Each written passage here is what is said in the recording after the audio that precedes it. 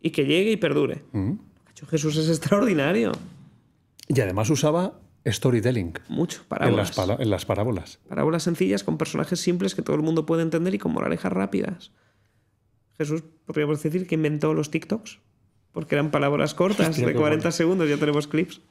Es decir, cuando Jesús comunicaba, buscaba un personaje sencillo, hacía una moraleja en 40 segundos que impactaba al pueblo, y fíjate, por miles de años. Fue el primer creador de contenido, ¿no? Eh, si hubiera habido una cámara, a lo mejor, Qué bueno, porque muchas veces me he preguntado. ojo, que nadie se malinterprete con este no, comentario. No, que va, que va, que va, que va, se entiende perfectamente. Yo pensaba muchas veces, lo he pensado en mi vida, ¿qué haría Jesús en la sociedad de hoy, con los medios de hoy? ¿Tendría Twitter? ¿Tendría TikTok? ¿Tendría Instagram? Pero es que es brutal lo que has dicho, que te haría Reels, uno detrás de otro, posiblemente, ¿no? Viralizarían. Muchísimo. Muchísimo, porque además iba en contra del status quo.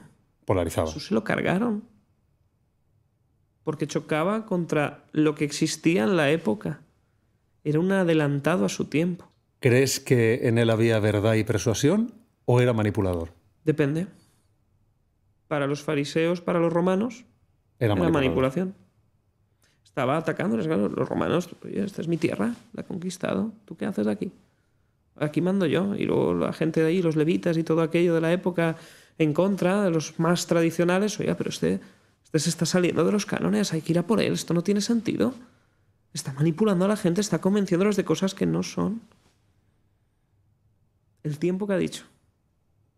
¿Quién persuadía que manipulaba? Es que es tan fina la línea, Carlos. Sí, Es sí. Para unos era malo, era manipulador y por eso en su mente era correcto eliminarlo. Entonces depende realmente de cómo percibe el mensaje el receptor. Ah, y ahí entramos a la siguiente. ¿La verdad existe?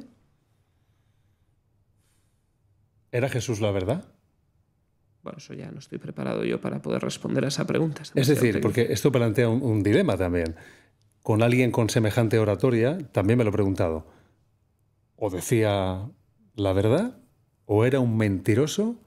¿O estaba loco? ¿O estaba convencido de lo que hacía? Es decir, al final la diferencia entre un loco y un genio siempre se ha dicho es al final el que, uno, en el mundo empresarial quien tiene éxito, pero yo creo que al final el que el mensaje se queda. Qué, qué bueno, Es curioso, el otro día hablaba con un buen amigo, ese Eugenio ayer, estábamos reflexionando y hablamos, por ejemplo, ahora de todas las diversidades de género que existen y todos sin entrar en mucha polémica, oye, pues existen ahora estas, estas y aquellas. Y entonces Euge me da una reflexión, es, tú imagínate que viene ahora, en 2000 años después, una nave espacial y de pronto analizan la Tierra y dicen, uy, mira, todavía siguen en la fase de los sexos, no han evolucionado. Y digo, wow. Digo, tú imagínate, ¿no? ¿Y cómo reproducís, no? Ahora lanzamos un mensaje y ya. Y me dejó sorprendido porque nunca sabes Mm. cómo va a ir la evolución, cómo van a ser las cosas. Es una cuestión de percepción. Para mí la verdad es absolutamente relativa a la percepción con la que tú la interpretas. Porque al final uno, con la verdad... La verdad objetiva tendría que ser como existe un hecho y sobre ese hecho es lo que hay. Mm. Pero la realidad es bien distinta. Casi la verdad es es, lo que uno construye. Mm. ¿Por qué? Ya, sin entrar en temas filosóficos, hablo a nivel de comunicación. Tú puedes hacer que una persona esté convencida y se crea una verdad. Pero esa verdad puede ser diferente a la verdad de otro. Absolutamente. ¿Quién tenía razón? ¿El que mandó eliminar a Jesús? ¿Los que protestaban? ¿O Jesús? Y seguramente los dos tuvieran razón y los dos tuvieran su verdad. Los dos estaban convencidos. Y los dos estaban absolutamente convencidos. ¿Quién persuadía? ¿Quién manipulaba? Lo mismo. Si hubiera ganado la guerra este señor de la Segunda Guerra Mundial, ¿habría persuadido? ¿Habría manipulado? ¿Quién habría escrito la historia? En España fue algo distinto, fue muy curioso. Claro, claro, fíjate. Los perdedores escribieron la historia. Es el único país del mundo en el que ha sucedido algo así. México la escribieron después, con la victoria, la república.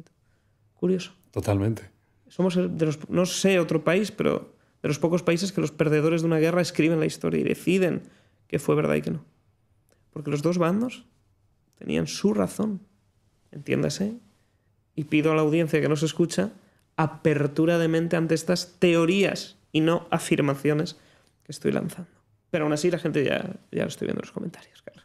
No, esto simplemente una reflexión. Yo no tengo la verdad de nada, simplemente es la teoría de la comunicación. Haces lo Tú que estás quieras. en todo momento muy consciente de, de tu acto comunicativo, porque es que eres tienes eh, alma de comunicador.